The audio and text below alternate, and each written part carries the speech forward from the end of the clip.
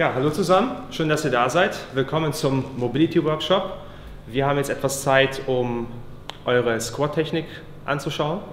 Das Ziel der nächsten Minuten ist, eure Performance zu verbessern. Das heißt, es geht darum zu gucken, wie kann man eure Kniebeuge eventuell besser machen. Und es gibt einige Techniken, das ist das Coole dabei, wie ihr eure Performance beim Squatten innerhalb von nur ein paar Minuten verbessern könnt. Und wir werden euch äh, analysieren, das heißt, ihr werdet euch untereinander analysieren. Ich werde mir eure Squat-Techniken anschauen. Wir werden eure Gelenke testen, das heißt Sprunggelenke, Kniegelenke, Hüfte, Wirbelsäule, alles was dazugehört. Und dann hoffe ich, dass der eine oder andere von euch etwas optimieren wird bei der Kniebeuge. Ähm, das Wichtigste erstmal, ihr habt alle ganz unterschiedliche Schuhe an. Ich sehe Gewichtheberschuhe, ich sehe Sportschuhe. Ihr könnt erstmal eure Schuhe ausziehen, weil die werdet ihr definitiv nicht benötigen. So starten wir, okay?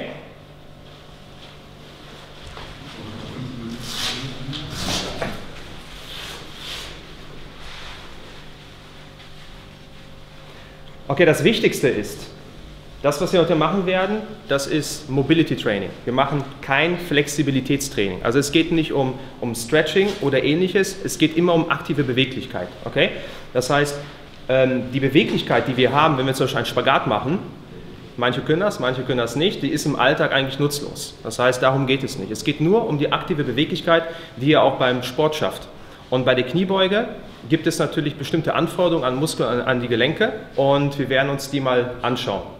Ähm, deswegen, was wir als erstes machen, beim Stehen quatschen ist relativ easy, aber in der tiefen Kniebeuge ist es ein bisschen schwieriger. Deswegen machen wir das sozusagen als kleinen Contest, dass wir uns jetzt sozusagen in der tiefen Kniebeuge weiter unterhalten werden. Also geht einfach einmal runter und dann sehe ich direkt, wie tief ihr kommt, wie wohl ihr euch fühlt, wo sich eure Fersen befinden, die Oberkörperposition und das halten wir zu den nächsten paar Minuten. Irgendjemand Muskelkater in den Beinen? Ja? Echt? Habt ihr gestern ordentlich trainiert? Ja. Vorgestern. Vorgestern, okay. Ist noch geblieben. Okay, wunderbar. Augen zu und durch. Sehr schön. Okay, ich sehe jetzt schon ganz, ganz unterschiedliche Positionen, unterschiedliche Fußstellungen. Manche haben die Füße ein bisschen mehr außen, manche haben die mehr innen. Gehen wir alle äh, darauf ein. Erstmal möchte ich euch sagen, wofür machen wir Mobility Training? Im Endeffekt geht es darum, schon die ersten Probleme oder braucht ihr ein bisschen mehr Platz?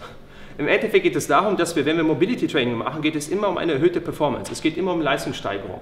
Das heißt, wenn zum Beispiel Lisi Müller Probleme hat, irgendwie Glas aus dem Schrank herauszuziehen, weil sie Schulterprobleme hat, kann es sein, dass sie ihre Mobilität im Schultergelenk steigern muss, um überhaupt an das Glas oder an die Tasse ranzukommen. Okay? Also auch da ist es Leistungssteigerung. Wenn ihr Probleme habt, die tiefe Kniebeuge einzunehmen, weil ihr kein S-to-Rest hinbekommt, dann geht es auch darum, eure Mobilität zu verbessern im Sinne einer Leistungssteigerung. Es geht also immer um Performance. Es ist nur Mittel zum Zweck. Wenn ihr dann sozusagen eure optimale Kniebeuge Ass to Grass geschafft habt, könnt ihr sagen, okay, ich habe genug Mobilität, um die Kniebeuge Ass to Grass hinzubekommen. Und dann ist der nächste Schritt die Stabilität. Also dann geht es quasi um Kraftaufbau. Okay? Aber erstmal müssen wir die Mobilität hinbekommen. Und Inwieweit Mobilität und Stabilität miteinander verflochten sind, kann ich euch ganz einfach mal zeigen. Ähm, und zwar hätte ich gerne, dass zwei von euch sich hier an meine Seite begeben. Ähm, du guckst dich so begeistert an, ich nehme dich auf jeden Fall. Und ähm, ich würde mal sagen, Nick, du auch, ja? das ist mit Absicht, okay? Kommt mal bitte hier, ebenfalls in die tiefe Kniebeuge. Okay, einfach so mit Abstand von ungefähr einem Meter. So, ich habe euch mit Absicht gewählt, weil deine Technik, kann man schon erkennen, du fühlst dich wohler. Und bei Nick merkt man, du hast natürlich Probleme, die Fersen nach unten zu bekommen. Ja. Also theoretisch ist es noch keine richtige Kniebeuge, weil dir die Mobilität fehlt. Genau. Jetzt demonstriere ich euch, inwieweit eure Performance, eure Stabilität abhängig ist von der Mobilität. Und zwar, ich werde euch einfach versuchen, ein bisschen umzuschubsen, aber ganz locker, easy going, okay? Das heißt, das heißt, ich schiebe dich einfach und du versuchst einfach stabil zu bleiben. Okay? Einfach stabil bleiben, dich nicht umschubsen lassen. Also er versucht sich auszubalancieren und kriegt das gut hin, sich immer wieder zu stabilisieren. Okay? Das war jetzt nicht stärker gedrückt, aber für ihn ist das schwierig, weil er natürlich Probleme hat, die Fersen nach oben zu bekommen. Das heißt, er muss seine Hände einsetzen, um sich zu stabilisieren und er strauchelt und zittert natürlich. Okay, super, danke dir. Okay? Das ist nur, um zu zeigen, wie schwierig es sein kann. Ja? Okay, wunderbar. Geht ruhig schon mal zurück. Das heißt also, erst ist die Mobilität da und dann kommt die Stabilität. Okay? Und wir werden uns anschauen, bei euch im Speziellen, ob es an den Sprunggelenken hapern kann. Ob, seid ihr schon müde? Ja. ruhig unten bleiben, ruhig unten bleiben, okay? Also schauen wir quasi eure Gelenke an und dann gucken wir, was funktioniert und was nicht. Das ist der erste Punkt. Gerade habe ich gesagt, die Mobilität ist wichtig für die Performance. Jetzt stelle ich euch eine wichtige Frage. Wenn ihr joggen gehen würdet, geht irgendjemand von euch joggen? Echt? Sogar ein paar Läufer dabei. Das ist echt unglaublich. Okay. Wenn ihr laufen gehen würdet, würdet ihr euch vor dem Laufen gehen eure Handgelenke aufwärmen bzw. mobilisieren? Du nix? Okay, echt? Würdest du machen vor dem Laufen? Okay. Also von Kopf bis Fuß. Von Kopf bis Fuß? Gute Einstellung. Wer wird das nicht machen? Du wirst das nicht machen. Okay. Denkst du, normalerweise wird man sich denken, okay, wieso soll ich meine Handgelenke mobilisieren oder auflockern, wenn ich eigentlich nur meine Beine belaste? Jetzt möchte ich euch gerne demonstrieren. Wir machen da gerne so, ähm, so einen Live-Test, inwieweit das relevant sein kann, sogar vielleicht die Handgelenke zu mobilisieren, bevor ich squatte. Okay? Magst du kurz mal zu mir nach vorne kommen und dich einfach mal hier auf den Rücken hinlegen? Ja. Du hast ja gerade gesagt, nein, du würdest deine Handgelenke vor dem Joggen. Die Füße hier? Die Füße da. Rückenlage? Okay. Ja. Okay, einfach mal die Beine ausstrecken, easy going. Okay, du kannst ein bisschen entspannen, chillen, wenn du willst, hol ich dir einen Kaffee. Okay? Also, Handgelenke sind vielleicht nicht so wichtig. Normalerweise wird man denken, okay, wenn ich squatte, dann mobilisiere ich vielleicht Sprunggelenke, Kniegelenke, Hüftgelenke. Das sind halt die Gelenke, die ja beim Squatten involviert sind. Ja? Ich mache jetzt bei dir einen kleinen Muskelfunktionstest. Ich gucke einfach mal, ob dein Hüftbeuger, ob der gut arbeitet. Mit der Hüfte hast du keine Probleme, gehe ich mal davon aus. Nee. Okay? Ich mache einen ganz einfachen Krafttest. Dein Bein bringe ich jetzt mal in Position, 90 Grad, halt das Bein mal bitte so, selbstständig. Okay? Das Bein wird durch den Hüftbeuger und ein bisschen durch den Quadrizeps oben gehalten. Das, was ich jetzt einfach versuchen werde, ist, dein Bein zu greifen und es auf den Boden zu drücken. Und du versuchst quasi aus dem Hüftbeuger dagegen zu wirken. Einfach nur halten und ich darf dich nicht unterkriegen. Okay? Fertig? Ja? So, ich drücke jetzt runter. Und wieder lösen. Und wieder entspannen. Hand funktioniert. Kraft war da, oder? Hat man die Anstrengung mir angemerkt? Ich glaube schon, oder? Also das ist schon anstrengend. Im Endeffekt ist es sein Hüftbeuger, richtig kräftiger Muskel und meine zarten Hände. Bleib einfach liegen, ganz entspannt. Ich gehe jetzt einfach mal deinen Fuß ran. Ich sage gleich erst, was ich mache. Okay? Erstmal nur ganz gechillt liegen bleiben, entspannen. Denk an heute Abend. Tut das weh? Nein. Okay. Ich werde euch gleich erklären, was ich mache. Ist noch nicht unangenehm. Okay. So, Bein wieder in Position. Tut dir ein Sprunggelenk weh? Nee. Okay. Wieder gegenhalten. Halt gegen. Nochmal, gegenhalten. Dritter Versuch. Komm, alle, Dinge sind, alle guten Dinge sind drei. Nochmal gegenhalten. Sein Bein wackelt. Immer wieder. Lass mal wieder locker. Äh, war es für dich schwieriger, dein Bein oben zu halten? Ja, deutlich schwieriger. Deutlich schwieriger, ne? Okay. Ist der Fuß okay? Ja. Okay, wunderbar. Wir wiederholen nochmal, okay? Wieder gegenhalten. Und wieder lösen. Besser wieder? Besser, ja. Okay, lösen. Erste Mal hat super funktioniert. Beim zweiten Mal hat es schlechter funktioniert. Beim dritten Mal hat es wieder funktioniert.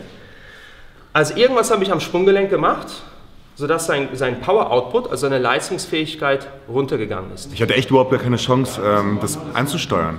Also ich habe wirklich vorher schon irgendwie Luft eingeatmet. Ich habe versucht, ein bisschen Gegendruck aufzubauen. Das war einfach nicht möglich. Es war, ja, als ob das quasi ausgeschaltet war. Ja. Jetzt machen wir mal, okay, irgendwie Sprunggelenk ist in dieser Kette involviert. Das heißt, wenn das Sprunggelenk nicht richtig arbeiten kann, nicht mobil genug ist, kann es sich auf die Hüfte auswirken. Okay? Dein Bein war, Hüfte war wieder in Ordnung, alles safe. Okay? Jetzt habe ich euch vorhin gefragt, würdet ihr eure Handgelenke mobilisieren, bevor ihr laufen geht? Theoretisch hätte ich euch fragen können, würdet ihr eure Handgelenke mobilisieren, bevor ihr squatten würdet? Darf man einen Daumen haben? Ich könnte das auch im Kiefer machen, aber lassen wir mal, ja? Okay? Wenn es weh tut, einfach schreien, ja?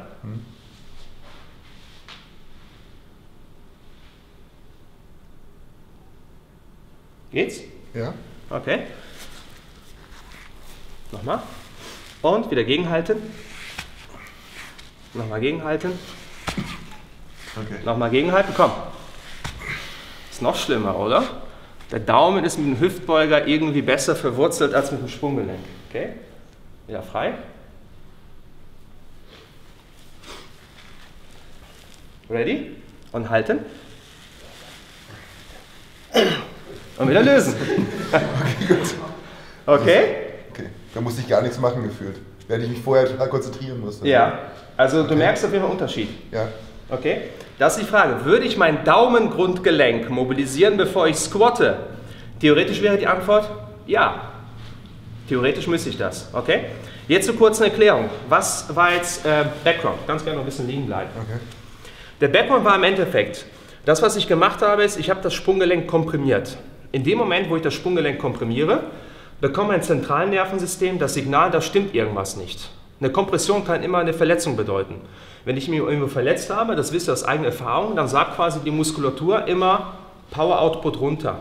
Das heißt, die Leistungsfähigkeit geht in so eine Art Standby-Modus. Und das Gleiche ist im Endeffekt hier passiert. Das heißt, Kompression Sprunggelenk, Signal in das Gehirn. Das Signal ist aber so fies, dass es bewirkt, dass quasi im ganzen Körper die Leistungsfähigkeit runtergeht. Also nicht nur in dem Fall Sprunggelenk, Hüftbeuger, sondern in dem Fall auch, dass ich quasi an einem Daumengrundgelenk eine Kompression hervorgerufen habe. Und durch diese Kompression im Daumengrundgelenk geht auch direkt die Leistungsfähigkeit im Hüftbeuger runter. Und das ist das Fiese. Das heißt, wenn du jetzt zum Beispiel eine Verletzung in der Hand hast oder Nacken oder sonstiges, kann es sein, dass dann eine ganze Performance darunter leidet. Das heißt, da haben wir wieder das Ziel der Mobilität oder Mobilitätssteigerung ist im Endeffekt wieder Performance.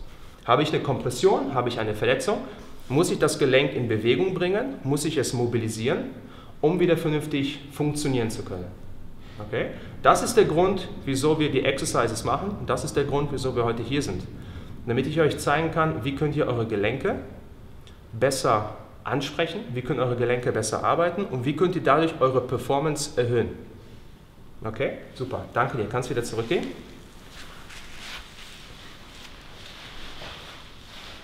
Okay, wir machen jetzt ähm, mit den Assessments weiter, beziehungsweise das ist unser Einstieg, dass wir uns jetzt anschauen, wie gut eure Techniken sind.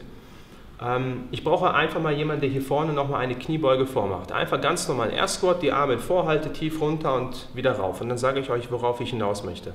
Ich kann mal kurz aufstehen. Kein Problem. Okay, die anderen können sich auch wieder entspannt hinsetzen, das ist kein Problem. Langsitz, Handstand, alles in Ordnung. Du hast gesagt, wir sollen uns in einen tiefen Hockey hinsetzen. Ja. Auch durch jetzt. Jetzt lange durch. Okay? Lass mal wieder ein bisschen Blut. Ja. So. Schauen wir das von oben an. Gut.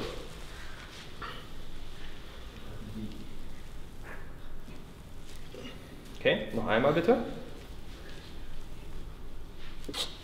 Okay, wunderbar. Worauf ich zuerst, ähm, oder was ich ansprechen möchte, ist erstmal die Nackenposition. Ja. Ja, Nackenposition war bei dir neutral. Ist neutral gut? Ist neutral schlecht? Was machen viele beim Kreuzheben? Überstrecken den Nacken und nehmen die Halswirbelsäule. Also Richtig, genau. hoch. Ja, okay. Und das Überstrecken der Halswirbelsäule, ist es in Ordnung oder ist es nicht in Ordnung? Und wenn es nicht in Ordnung ist, wieso ist es schädlich oder wieso kann es schädlich sein? Die Frage ist vor allem, leidet oder kann unsere Performance darunter leiden, wenn wir den Kopf überstrecken? Was zum Beispiel, wenn ich einen Backsquat mache und das Kinn richtig weit nach oben führe? Das heißt, ich überstrecke. Kann es dann sein, dass, oder wird dann meine Leistungsfähigkeit höher oder wird die geringer? Oder kein Einfluss? Wird geringer wahrscheinlich, ja? Okay. Jetzt möchte ich möchte euch mal etwas zeigen und dann werdet ihr anhand dieses Tests selber erkennen, ob die geringer wird oder nicht. Dass du hier stehst, ist schon mal super, ja? weil du bist auf jeden Fall sehr kräftig, du hast auch äh, ausgeprägte Nackenmuskulatur. Ich werde gleich äh, noch jemand weiteres mit dazu nehmen für diesen Test. Dieser Test, den ich gleich mit euch machen werde, ist so eine Art Krafttest, das heißt, ich werde euch jetzt betteln. Ja? äh, Im Endeffekt machen wir folgendes meine beiden Bizepse gegen deinen Trizeps im Endeffekt. Ja, also ich habe jetzt nicht so dicke Arme, bist auf jeden Fall ein bisschen äh, stärker bepackt. Würdet ihr erstmal sagen, dass ein Strecker oder ein, ein Beuger die kräftige Muskulatur ist? Also zum Beispiel Beinstrecker, Beinbeuger oder Bizeps, Trizeps? Strecker oder Beugemuskel? Strecker. Das ist fast immer der Strecker. Ich würde, also bei Beinbizeps würde ich tatsächlich gesagt, das ist der Beuger. Ja, Ja. Na, der Strecker. Ist es ja? Ja. Hm, gut. Ja, meistens ja. Also außer natürlich, ich habe eine quasi Fehlentwicklung. Ich kann natürlich beim Bizeps härter auftrainieren als im Trizeps zum Beispiel. Das ist aufgrund der Größe, aufgrund der drei Köpfe, oder? Er hat was mit der Größe zu tun, hat aber was mit der Ansteuerung zu tun. Eine Strecke anzusteuern ist vom zentralen Nervensystem immer etwas leichter als, als zu beugen. Okay, wir machen jetzt folgendes. Wir machen jetzt einen kleinen Test. Und zwar dein Strecker, dein Trizeps gegen meinen Bizeps. Okay? Du machst folgendes. Du bleibst einfach so stehen, du fixierst vorne auf der gegenüberliegenden Seite einfach einen Punkt an der Wand.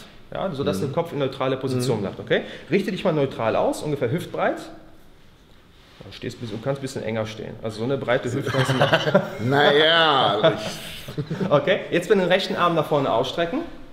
Die Finger spreizen, Ellenbogen ist gestreckt. Okay? Das Gute ist, er, ist wirklich sehr, er hat wirklich sehr kräftige Arme. Okay? Also es kann auch sein, dass der Test nicht funktioniert, dass ich nicht das erreiche, was ich erreichen komm, möchte. hätte ich nicht raus. Ja, ich rede mich jetzt schon raus, bevor wir angefangen haben, okay? Also das Spreizen der Finger aktiviert zusätzlich den Trizeps. Ellenbogen ist gelockt, dadurch habe ich die maximale Spannung in den Trizeps, okay? HWS bleibt neutral, das ist das Kinn ein bisschen eingezogen und ich sage, das ist die stabilste Position, die ich haben kann. Dadurch habe ich mein maximales Power-Output, okay? Ich greife jetzt einmal rum und das, was ich jetzt versuchen werde, ist deinen Arm zu beugen. Der Arm darf nicht gebeugt werden, der bleibt gestreckt. Du schaust nach vorne, HWS in neutrale Position. Ready? Okay, nicht beugen. Hast du den Ellbogen knacken gehört? Der ist wieder repositioniert. Okay, super, entspannen. Also für mich ist das anstrengend, okay? Hat nicht funktioniert. Also ich war nicht in der Lage, seinen Arm zu beugen. Jetzt simulieren wir mal, alles klar? Alles noch dran? Werden wir sehen. Am Ende des Tages. Jetzt simulieren wir mal eine schlechte Technik. Zum Beispiel jemand, der einen Backsquat macht und der beim Raufkommen den Kopf richtig weit in den Nacken nimmt, was sehr häufig passiert. Leute, die zum Beispiel nicht mehr genug Kraft haben, die neigen dazu, das Kinn richtig hochzuziehen und über die Kopfbewegung natürlich aufwärts zu kommen. Okay? Das heißt, ähm, machen wir folgendes. Wenn ich sage, schau nach oben, versuchst du deinen Kopf in den Nacken zu legen und fixierst direkt die Decke über dich. Okay? Selber Arm strecken? Ja, selber Arm. Jetzt, ich sag nicht, du hast Ermüdungseffekt. Nee, nee. Okay, gestreckt, Finger gesponnen, noch nicht. Erstmal nach vorne schauen. Okay, muss jetzt mal greifen. Okay, so. Und jetzt Kopf in den Nacken, Kopf in den Nacken. Dann leck mich doch am Arsch, das gibt's doch gar nicht. Entschuldigung. Schon ist er weg. Alles gut. Ja, krass.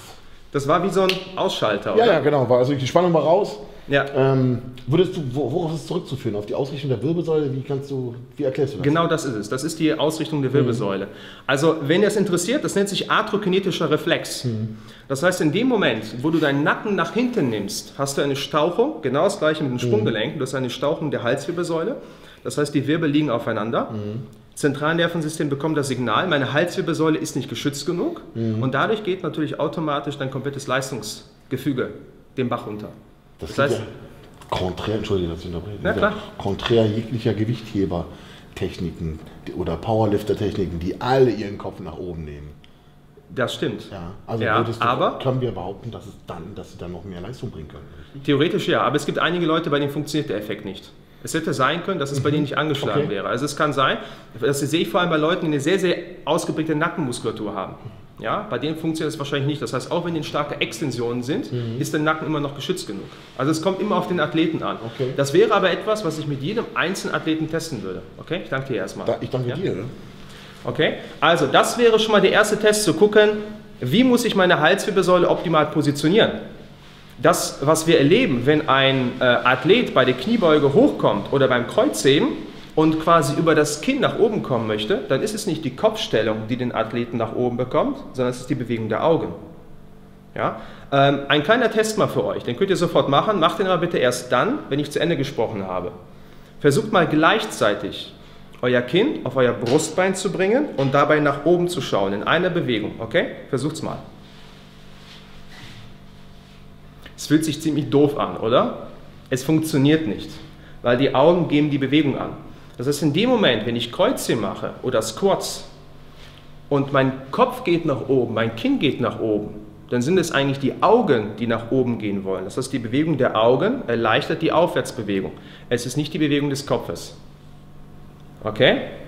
Das sind erstmal die Basics, wieso wir das alles machen, wieso die Mobility-Techniken wichtig sind, die Stabilisierung auch der Wirbelsäule.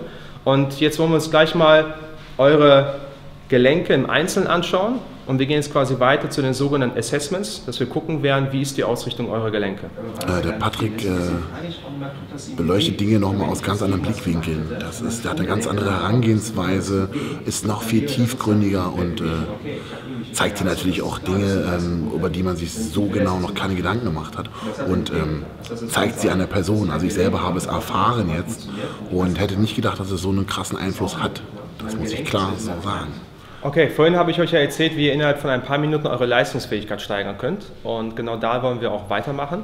Leistungsfähigkeit, einmal die Kraft und einmal die Mobilität. Um überhaupt Kraft erzeugen zu können, vernünftige Kraft im vollen Bewegungsausmaß, brauchen wir natürlich dementsprechend die Mobilität. Und ich möchte euch zeigen, wie man innerhalb von ungefähr einer halben Minute eure Mobilität verbessern kann, erhöhen kann. Also die Bewegungsamplitude, auch genannt Range of Motion. Ich brauche jetzt quasi einen Freiwilligen, der vielleicht nicht so super beweglich ist in den Beinen. Äh, also wenn jetzt jemand quasi einen Spagat oder so hinbekommt, dann ist das schon überbeweglich. Also mit einer durchschnittlichen Beweglichkeit entsprechend eines Fußballers, das wäre super. Wer von euch möchte? Ja? Okay.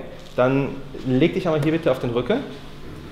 Wir machen jetzt im Endeffekt, ähnlich wie wir es gerade gemacht haben, einen Muskelfunktionstest, einen Vorher- und Nachher-Test. Okay? Einfach mal die Beine ausstrecken, und ich möchte jetzt also quasi schauen, wie deine Range of Motion, deine Bewegungsamplitude vorher ist. Und dann zeige ich euch eine kleine manuelle Maßnahme und danach werden wir erneut die Range of Motion testen, beziehungsweise vorher und nachher vergleichen. Okay? Und zwar, ich mache jetzt erstmal so einen Beinrückhebetest oder Beinanhebetest. Ähm, dein rechtes Bein. Mhm. Ihr schaut einfach, ob ihr selber einen Unterschied seht. Also euer Blick ist ebenfalls wichtig, dass ihr erkennen könnt, okay, vielleicht ist nach diesem Test die Beweglichkeit besser geworden. Du hältst einfach dein Bein ganz entspannt, einfach den Kopf liegen lassen, ganz easy going, locker lassen, locker lassen, locker lassen, okay. So, hier sperrt er schon. Ja? Ihr seht ungefähr, wie hoch das Bein kommt. Ja? ja, geht noch ein bisschen so. Hier ist Schluss, okay? So, die ischokorale Muskulatur wahrscheinlich, die macht dann irgendwann schlapp, beziehungsweise die macht zu und sperrt die weitere Bewegung. Jetzt gucken wir noch in der Außenrotation, in der Abduktion. Also ein bisschen in die Außenrotation, Knie ist gestreckt, auf einer Ebene und ebenfalls, jetzt fängt es schon an zu ziehen. Okay, seht ihr, wo sein Bein ist? Ungefähr so einen Winkel merken. Okay, wunderbar. So, Bein entspannt halten. So, jetzt gehe ich an deinen Kiefer ran. Okay, warst du schon mal beim Kieferorthopäden oder beim Zahnarzt? Bestimmt, oder? Kieferorthopäden schon mal gewesen? Ich war letztens beim Physiotherapeuten, der hat festgestellt, wenn er hier die Muskulatur oder die äh, lockert, dass äh, dann mein Rücken besser wird. Dass dein Rücken besser wird, okay. Ja. Ich gucke mal, ob eine kleine Kieferbehandlung deine Bewegungsamplitude verbessert. Okay. Normalerweise würde ich ein bisschen Massageöl nehmen, das ein bisschen angenehmer ist, aber wir verzichten das jetzt, äh, jetzt ein bisschen darauf. Äh, kann das ein bisschen unangenehmer werden, aber es passt schon. Okay? Also wenn es äh, wehtut, dann äh, schreist du einfach, ja?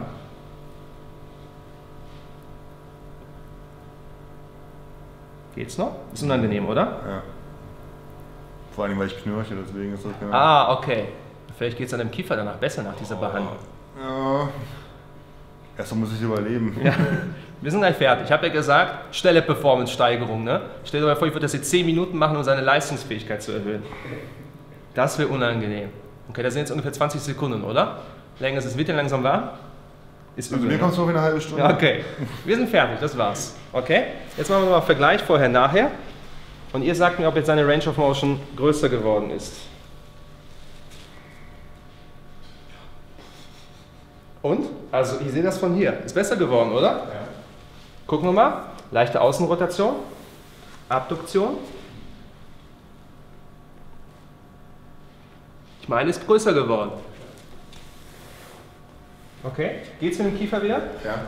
So, das war jetzt quasi Instant Performance. 20 Sekunden lang am Kiefer rumgeschraubt und schon wird seine Bewegungsamplitude größer. Okay? Soll ich euch den Trick verraten?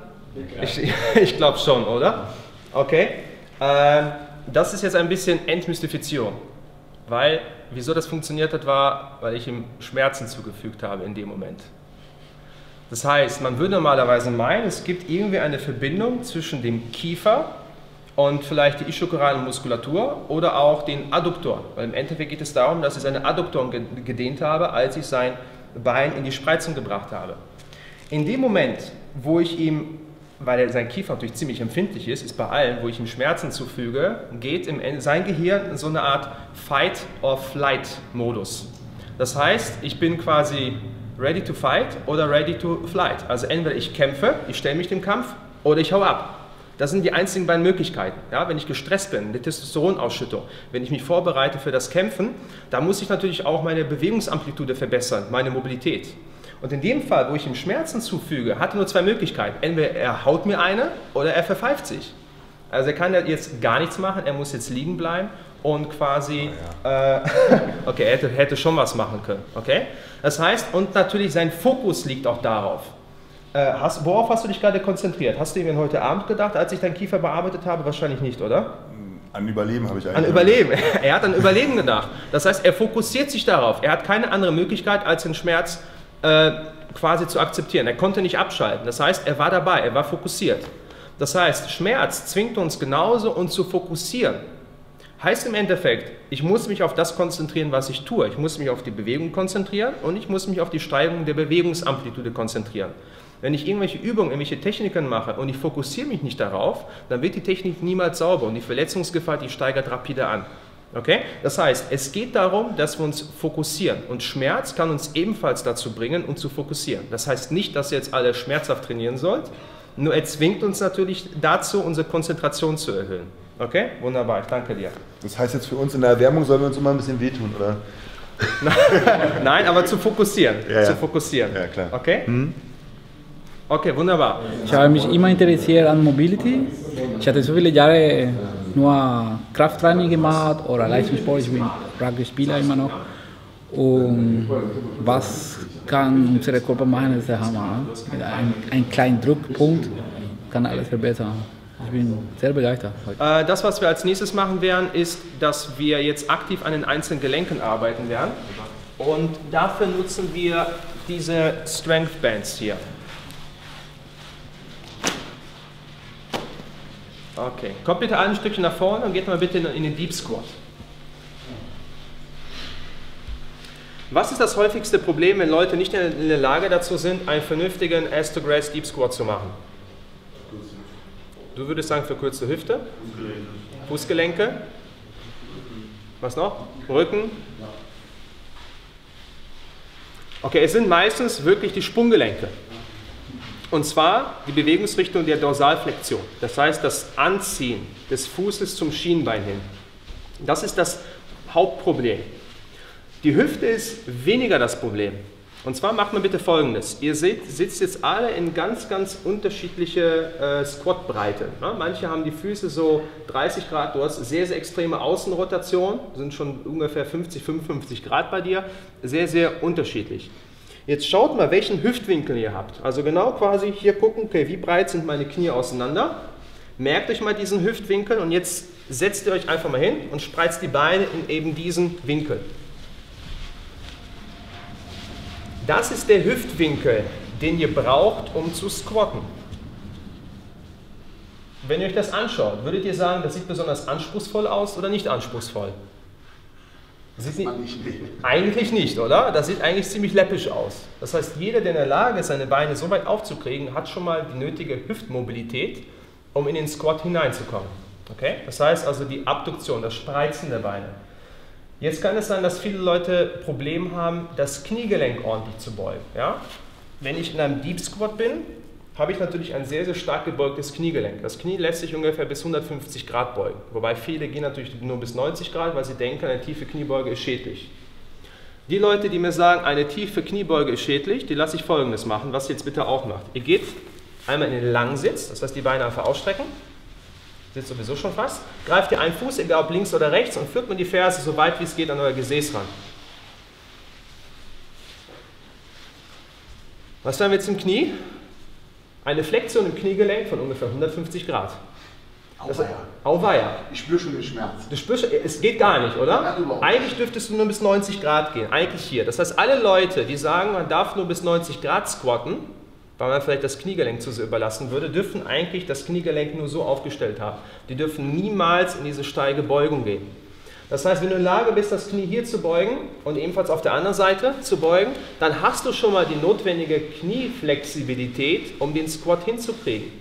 Wenn du die Beine spreizen kannst von ungefähr 75 bis 90 Grad, dann hast du schon mal die nötige Hüftflexibilität, um die Kniebeuge durchführen zu können. Wenn du aber in den Deep Squat gehst, ja, beziehungsweise du schaffst es nicht, weil deine Knie hinten sind und nicht vor den Zehenspitzen, wirst du niemals in der Lage sein, dich aufzurichten. Weil was passiert, wenn ich meine Knie nach hinten nehme, geht mein Oberkörper automatisch in die runde Position. Nur wenn ich meine Knie nach vorne schiebe, also in die Dorsalflexion gehe, bin ich in der Lage, mich aufzurichten. Das heißt, es kommt gar nicht so sehr auf die Mobilität der Wirbelsäule an, weil Knie hinten, Rücken rund, Knie vorne, Rücken gerade. Dorsalflexion der Sprunggelenke. Jetzt ist es so, jetzt müssen wir, im Endeffekt müssen wir lernen, unsere Gelenke in die richtige Position zu, zu bringen. Und dafür brauchen wir quasi diverse Mobilitätsübungen. Wenn ich euch jetzt sage, jetzt schiebt mal die Knie einfach nach vorne und ihr bekommt das nicht hin, dann wie wollt ihr das umsetzen? Folgendes Beispiel, um das mal zu verdeutlichen. Machen wir bitte eine sogenannte seitliche translatorische Bewegung des Kopfes. Das heißt, so viel wie, jetzt kommt die Erklärung, den Kopf erstmal neutral halten und seitlich bewegen.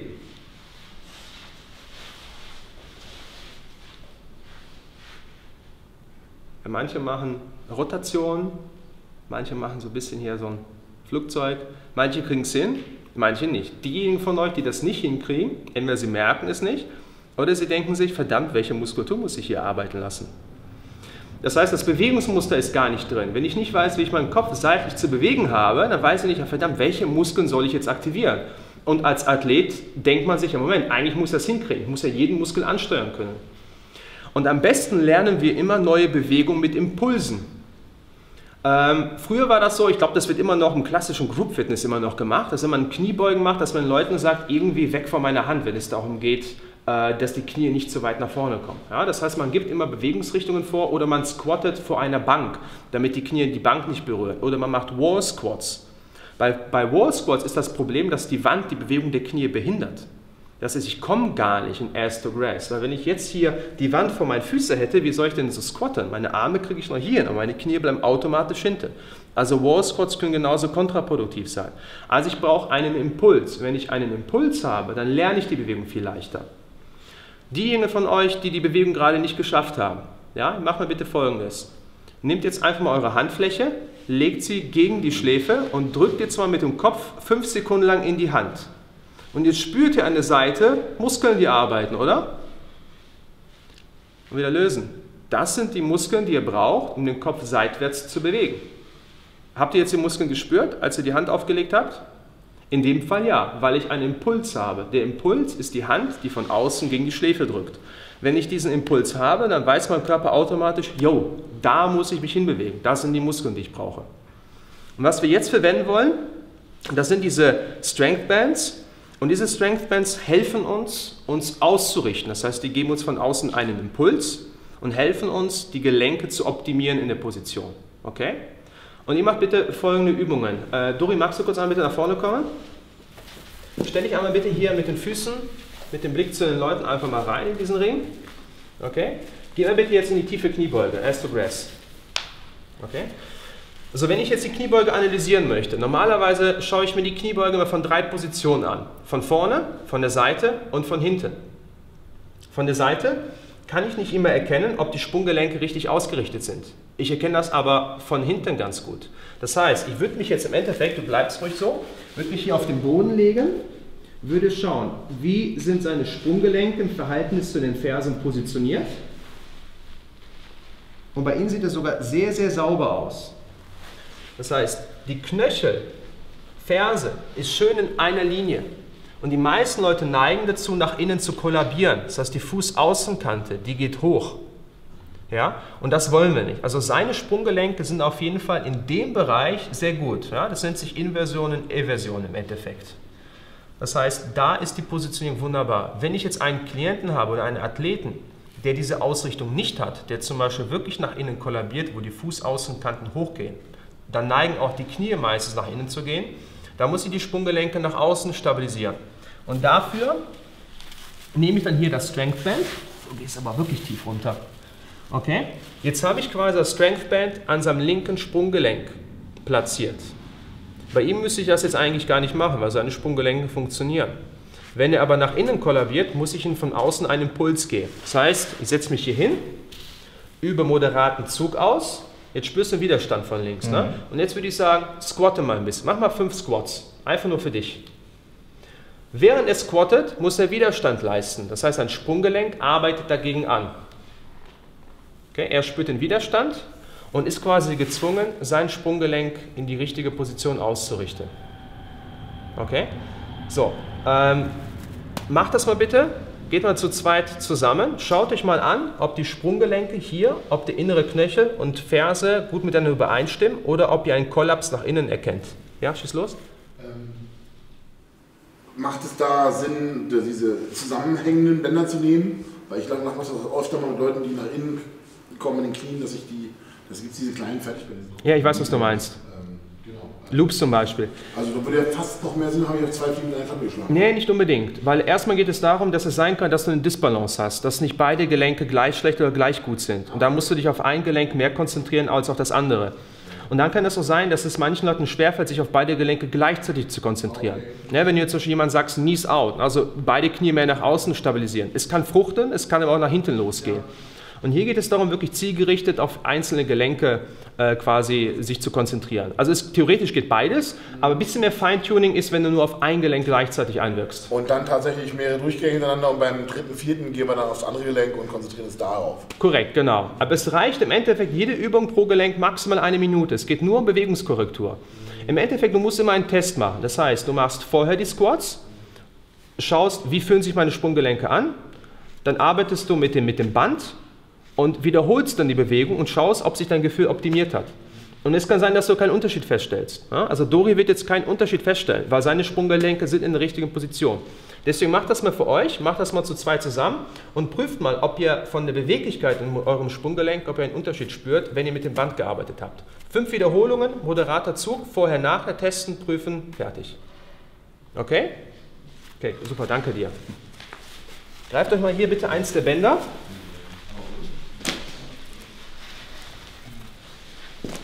Ist egal, ob ihr blau oder rot nehmt.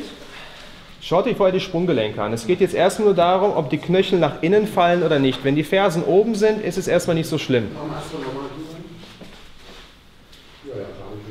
Okay?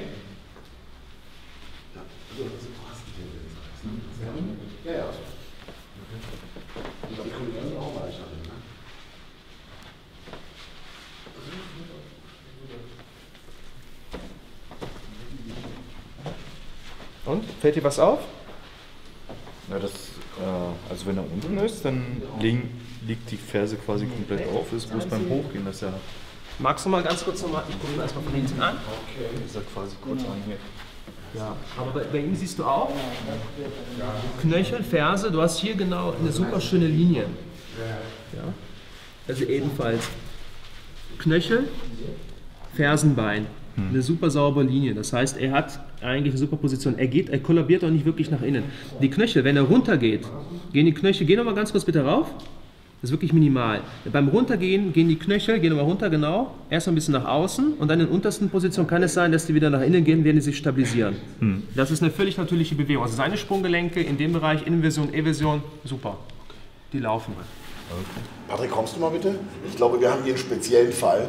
Hier sehen wir deutlich, dass die äh, Fußgelenke nach innen kommen und das auch auf die Knie sich überträgt. Versuch nochmal. Okay, schau mal von hinten.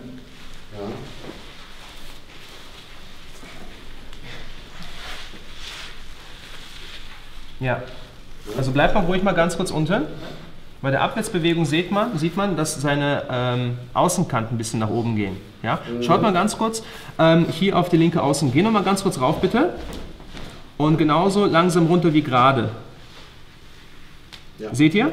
Das heißt, die Fußaußenkante geht ein bisschen rauf und dementsprechend geht natürlich der Knöchel nach innen. Das heißt, er kollabiert etwas. Und das gleiche auch hier von der Seite. Geh noch mal ganz kurz rauf, bitte. Das Band nimmst du etwas tiefer, direkt um den Knöchel herum, bleibt da. Und jetzt ist er natürlich gezwungen, weil das gleiche war auch bei dem rechten Sprunggelenk. Also bei ihm ist das super, äh, weil man wirklich jetzt beide Sprunggelenke einzeln bearbeiten kann. Ne? Also erstmal konzentrieren wir uns auf den und jetzt ist er gezwungen, direkt die Fußaußenkante äh, auf den Boden zu stemmen. Ja? Also du arbeitest dagegen, gegen das Band. Geh nochmal runter. Wir schauen mal auf das rechte Sprunggelenk und wieder hoch. Mehr Druck auf die Außenkante. Ja. Okay, noch zwei Wiederholungen. Zieh ein bisschen kräftiger ruhig, ein bisschen. Jawohl. Und letzte Wiederholung. Okay, und lösen. Man sieht, es wird besser, ganz klar. Ne? Es, es sollte besser werden, ja. Das heißt, nimm jetzt nochmal kurz mal das Band vom Sprunggelenk ab. Und jetzt mach mal bitte für dich ohne, den, ohne das Band zwei, drei Kniebeugen und guck mal, ob du vielleicht einen Unterschied feststellst. Einfach vom Gefühl her. Ich habe mehr Gefühl im. Also ich kriege die, also krieg die Außenkante besser rein. Bisschen mehr Kontrolle. Ein bisschen mehr Kontrolle, Ja. genau. Okay? Das gleiche wird man natürlich dementsprechend auch beim linken Sprunggelenk machen, weil die linke Seite schlimmer ist als die rechte. Das kann ganz unterschiedlich sein. Eine muskuläre Disbalance, weil du halt ein, ein Sprungbein hast, was ein bisschen stärker ausgeprägt ist. Es kann eine Verletzung sein. Ganz, Das ganz. siehst du eigentlich auch, oder? Kann auch sein, natürlich. Das sind alles die möglichen Gründe. Okay. Ja? Okay, das sind, die, das sind die Füße. Und ich kann natürlich ebenfalls auch die Dorsalflexion ansteuern, indem ich die Knie ein bisschen mehr nach vorne bringe. Das sind halt die beiden Möglichkeiten, die ich habe. Wir wollen jetzt aber auch an die Knie rangehen, beziehungsweise auch an die Hüfte. Das heißt, statt das Band um das Sprunggelenk zu legen, lege ich das Band jetzt um das Kniegelenk herum. Soll ich mich Ja? umdrehen dafür? Oder? Ja, dreh dich ruhig mal kurz um. Ich nehme mal hier dieses hier. Stell dich noch einmal rein, bitte. Okay. So, geh jetzt erstmal, wir machen erstmal vorher, nachher, lass es ruhig erstmal liegen, geh nochmal in die tiefe Kniebeuge und wir gucken mal, wie weit deine Knie nach außen kommen. Soll ich sie nach außen drücken, nochmal drücken? Oder? Also ich kann sie noch. Das ist ja wunderbar. Du machst die Bewegung, die für dich richtig ist. Das Problem ist, dass viele Leute denken, dass die Hüfte problematisch ist. Meistens sind es aber die Füße. Das heißt, wenn die Füße nach innen kollabieren, dann ist er vielleicht gar nicht richtig dazu in der Lage, die Knie auch nach außen zu bringen. Sprunggelenk geht nach innen und Kniegelenk folgt normalerweise dem Sprunggelenk. Das heißt, ich habe immer eine Arbeit, die dagegen wirkt. Er kann aber genauso, wenn er seine Knie nach außen bringt, kann natürlich auch seine Füße besser positionieren. Er muss natürlich seine Abduktoren aktivieren. Das heißt, Gluteus maximus, Gluteus medius. Und die Leute, die meistens nach innen kollabieren, die sind nicht in der Lage, ihre Abduktoren vernünftig zu aktivieren. Stellt euch mal Leute vor, die springen bei der Landung. Viele Leute, die Boxjumps machen, genau, da gehen die Knie voll nach innen, weil die einfach zu schwache Hüftstreckmuskeln haben. Und dadurch kommen die in so einen medialen Kollaps rein. Das heißt, die Sprunggelenke gehen komplett nach innen, die Außenkanten gehen hoch und die Leute machen sich ihre Füße komplett kaputt. Wir haben ja auch das Phänomen, dass das Knie quasi immer zwischen Fuß und Hüfte auch mittelt, ja? Es Genau. stimmt irgendwas mit der Hüfte nicht und nicht mit, also und dem Fuß nicht. Ja. Mhm. Dann sehen wir das am ehesten am Knie. Und die, der Verursacher liegt oft woanders, ja. Das stimmt, weil das Knie ist im Endeffekt, ich sage immer, ist ein sehr doofes Gelenk. Ja, es macht eigentlich fast nur Flexion und Extension. Am Ende haben wir eine kleine Schlussrotation. Im Endeffekt ist es ein ganz einfaches Scharniergelenk. Sprunggelenke, oberes, unteres und Hüftgelenk ist viel komplexer. Nichtsdestotrotz, wir wollen jetzt die Hüfte optimieren. Und wenn wir die Hüfte optimieren wollen, dann legen wir das Band, ich mache es mal hier von der Seite, oberhalb des Kniegelenks an. Ich achte also darauf, dass ich am besten wirklich auf der Hose bin, nicht direkt hier die ganzen Haare runterreiße. Bin direkt oberhalb der Kniescheibe. Hier ist der Zug etwas schwächer, weil je näher ich am Schwerpunkt dran bin, desto leichter kann ich dich quasi aus deinem Gleichgewicht bringen. Nächstes, ich ziehe hier, du hältst dagegen und jetzt squattest du wieder. Mach mal bitte drei Squats. Und du hältst dagegen. Du spürst, dass deine rechte Hüfte mehr arbeiten muss, oder? okay. deutlich. Weiter halten, bleib mal oben. Wenn ich jetzt einen Athleten habe, der schafft die Bewegung sauber, den möchte ich aber trotzdem ein bisschen herausfordern, dann besteht die Möglichkeit, noch zusätzlich reaktiv zu trainieren. Das ist immer noch in dem Bereich der Mobilisierung. Das heißt, je nachdem, in welchem Winkel ist, also ob er oben ist oder nach unten squattet, muss er sich immer stabilisieren. Und da würde ich, machen wir mal ein paar Kniebeugen, es wird etwas fieser, mach nochmal. Das heißt, ich ziehe reaktiv an ihm und er ist gezwungen, sich dementsprechend, wie ich ziehe, sich immer unterschiedlich zu stabilisieren. Okay, wunderbar. Und auch dadurch wird seine Mobilität größer, weil er eine größere Anpassung hat. Okay? Probiert das mal bitte aus, einfach eine Minute um die Knie herum. Schaut erstmal vorher nachher, das heißt, wie sind meine Knie in Position. Wenn jetzt jemand dazu neigt, die Knie nach innen zu nehmen, der wird natürlich einen großen Unterschied spüren. Die Leute, die schon die Knie sehr weit außen haben, wie zum Beispiel bei dir, äh, da werdet ihr kaum einen Unterschied wahrnehmen. Probiert es aber ganz kurz mal aus. Ja, sehr interessant, sehr informativ. Ja, ähm, ja ich glaube, keiner kann sich so vorstellen, wie man mit so ganz sag mal, einfachen Sachen ja, so eine große Wirkung im Körper erzielen kann. Man hat wirklich Sachen aus neuen Blickwinkeln äh, mal gehört und mal gesehen. Und äh, gerade auch immer die Frage beim Kniebeugen, Kreuzheben, ob Kinn hoch oder äh, wirklich neutrale Kopfposition, ähm, ist ja wirklich die dauerhafte Frage. Und äh, das, wurde, da wurde das heute mal aus einem neuen Blickwinkel beleuchtet. Ähm, ich habe festgestellt, ich beuge ja grundsätzlich in Gewichtheberschuhen. Und äh, heute haben wir die ausgezogen, also ohne Schuhe gebeugt. Und da merke ich schon, dass ich da auch so ein bisschen merke, oh, hier könnte ich irgendwie beweglicher werden. Also eine sehr, sehr coole Gruppe, sehr offene Gruppe, ganz, ganz unterschiedliches Leistungsgefüge. Also die Leute haben wirklich eine ganz unterschiedliche Performance, was die Kniebeuge anbelangt, von der technischen Ausführung vor allem. Und alle sind sehr, sehr offen, Neues zu lernen. Und ich denke mal, dass äh, ich den Leuten auf jeden Fall ein paar neue Tipps und Tricks beibringen kann, obwohl das schon teilweise eine sehr, sehr fortgeschrittene Gruppe ist. Also es gibt einige Leute, die mindestens das Zweifache des Körpergewichts squatten, was richtig cool ist. Aber ich denke mal, da sind echt noch ein paar Sachen dabei, wo man noch so ein bisschen was rauskitzeln kann. Okay, wunderbar. So, mit den Bändern sind wir erstmal durch. Ich denke mal, das Prinzip habt ihr verstanden. Ihr könnt das natürlich auf alle möglichen Gelenke auch einbeziehen. Das, was wir jetzt als nächstes machen wollen, ist, dass ihr quasi eure Gelenke selber in die richtige Position bringt. Das heißt, jetzt kommen wir zu den sogenannten Drills. Okay? Wir werden bei diesen Drills, bei diesen Mobility Drills, werden wir an den ganzen Gelenken arbeiten, das heißt Sprunggelenk, Kniegelenk, Hüfte, werden ein bisschen so die, die Wirbelsäule involvieren. Okay? Wir werden aus der Deep Squat Position starten. Das heißt, kommt noch einmal in eure Lieblingsposition des heutigen Tages. So, wir sind jetzt hier in der Außenrotation. Die Außenrotation ist bei den meisten Leuten eher weniger das Problem. Ja, wir haben vorhin erfahren, das sind meistens eher die Füße.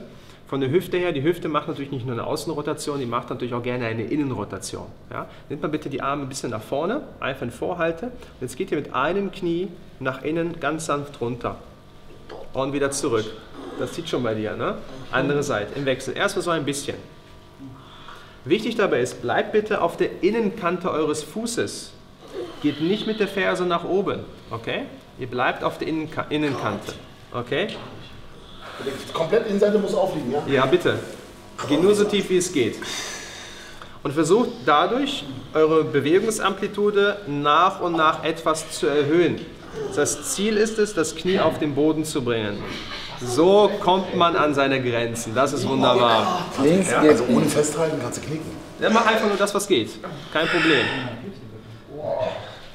Wunderbar, sehr schön. Ja, Warum komme ich auf eine Seite tiefer und auf die andere gar nicht? weil du auf einer Seite eine höhere Beweglichkeit in der Innenrotation hast. Ja? Dann hast du auf jeden Fall da eine Einschränkung. Okay? Wer hat damit kein Problem? Wunderbar. Kein Problem. Die seid ihr super mit Abstützen. Nee, nächste Stufe ist aber trotzdem, wenn ihr es schafft. Ja, es gibt ja ein paar, die schaffen das, die kommen damit klar. Das heißt, ein Bein nach innen, absetzen, Knie nach außen. Kannst du bitte das nochmal machen? Ja. Knie geht drauf, wir gehen hier hin. Auf der anderen Seite nochmal. Das Knie geht nach innen, ich gehe in die Innenrotation, setze mich hin, nehme das andere Knie nach außen. Gehe hier hoch, okay? Und so gehe ich quasi auf der einen Seite runter und komme wieder nach oben. Ja, Hier habe ich eine Kombination, Wie kommt man hoch? das sieht super entspannt aus, das ist wunderbar. Okay? Also Innenrotation und Außenrotation. Wir machen das einfach. Wir gehen nur in die Endposition. Endposition heißt hinsetzen, vorderes Bein anwinkeln, hinteres Bein anwinkeln. Das heißt, wir haben vorne Fußsohle am Oberschenkel und hinten die Ferse am Gesäß. Wenn ich hier so zur Seite lehne, das ist relativ easy, oder? Jetzt müsst ihr die, die meisten spüren hier auf der Seite so ein bisschen eine Blockade, weil hier sind wir in der Innenrotation, okay? Deswegen erstmal hier zu der offenen Seite einfach mal so ein bisschen ausdehnen. Wir dehnen uns mal ganz kurz, damit du hier auf der Seite so ein bisschen die Erleichterung spürst. Das ist angenehmer. Komm so ein bisschen runter, gehen wir auf den Ellenbogen. Jetzt müsstet ihr alle so einen leichten Stretch spüren. Versucht mit beiden Armen runter zu gehen. Und wer macht, wer möchte, macht ein kurzes Nickerchen, das heißt Oberkörper wird abgelegt. Okay, und wieder raufkommen, langsam aufrichten, nicht zu schnell. Jetzt zu der geschlossenen Seite drehen und versuchen an das Sprunggelenk zu greifen. Wenn es geht, beide Hände. Ja. Entweder Knie, entweder Schienbein, Sprunggelenk oder noch weiter drehen. Wir versuchen zu rotieren. Mit dem Oberkörper, ja? Mit Oberkörper, natürlich, ja. Wir drehen uns von einer Seite einmal rausdrehen und okay. Ne, er bleibt direkt einfach sitzen. Das ist auch okay. Okay? Dreh dich mal ein bisschen rein und raus. Einfach mal von einer Seite zur anderen und du wirst merken, es wird nach und nach besser. Es wird besser. Der Schmerz lässt nach im Laufe der Zeit. Oberkörper bleibt aufrecht. Versuch wirklich gerade zu bleiben. Machst einfach eine kleine Bewegung, das ist auch okay. Okay. Und sitzen bleiben. Wir haben noch eine zweite Seite. Wir machen jetzt eine Transition, das heißt Wechsel von einer Seite auf die andere. Dafür nimmst du das hintere Bein vor und das vordere Bein zurück und wechselst jetzt die Seite. Okay, bei den einen oder anderen sieht es ein bisschen weniger elegant aus, aber lass sie jetzt einfach mal durchgehen. Okay? Jetzt haben wir hier wieder die offene Seite. Beide Gluten muss auf dem Boden festbleiben. Ja, das wäre optimal. Beziehungsweise du hast hier auf der Seite, wenn du dich natürlich hinsetzt, hast du natürlich hier so ein bisschen eine Verdrehung. Das wird schwierig. Also wenn der Po ein bisschen oben ist, ist kein Problem. Solltest aber relativ entspannt sitzen. Okay? Innenmeniskus bleibt schmerzfrei. Ja, ganz wichtig. Wieder zur offenen Seite. Das ist jetzt die andere. Rüber, Unterarm 1, Unterarm 2 und wenn möglich Oberkörper ablegen. Kurz einfach mal diese Dehnung spüren, dass du das Gefühl hast, okay, die Hüfte geht auf. Ich habe den Zug mehr im Rücken übrigens. In der Seite, ne? Ja. Ja, dann ist euer Rückenstrecker ziemlich zu. Wenn man nur Kreuze und Kniebeuge macht, dann passiert das. Äh, Schlimmer wäre es, wenn, äh, wenn niemand von euch nichts mehr fühlen würde. Das wäre das wär übel. Okay, kommt, kommt wieder rauf. Okay, jetzt rotiert wieder. Das heißt, von der einen Seite zur anderen zum Schienbein greifen, kurz in der Position verweilen und dann wieder zurückdrehen.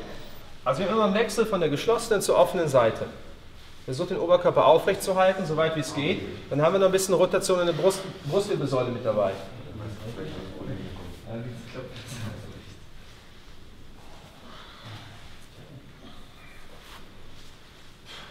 Okay, wunderbar. Wieder nach vorne ausrichten. Jetzt machen wir nur Wechsel der Beine. Das heißt, das hintere Bein kommt wieder vor und das vordere Bein kommt zurück.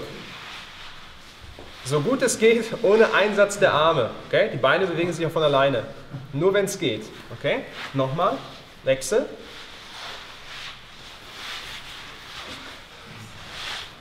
Das ist der Unterschied zwischen Flexibilität und Mobilität. Ja? Wir bewegen uns aktiv. Bleib mal auf einer Seite. Jetzt geht es darum, Gesäß zu aktivieren. Wir kommen rauf. Das heißt, Kniestand, aus der Position Gesäß anheben. Ja? Das ist leichter. Aktivierung, Gluteus Max. Okay. Langsam wieder runter. Absetzen. Versucht nicht runter zu plumpsen. Die Beine nochmal wechseln. Und Gesäß aktivieren, aufrichten. Wunderbar. Und ein paar Mal wiederholen. Funktioniert? Wunderbar.